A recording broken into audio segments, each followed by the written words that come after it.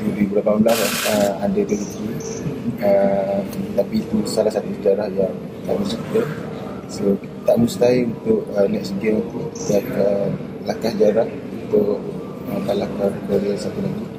Sebab kita tengok daripada result lawan Jordan uh, dia draw first game pun uh, dia memang nampak dia macam tu. So saya percaya dengan uh, Commercial dan technical head coach InsyaAllah kita boleh melakukan uh, uh, Kita cuba. Uh, Kita dalam tim so Kita dapat Gerakkan apa yang Head coach nak Yang training almost uh,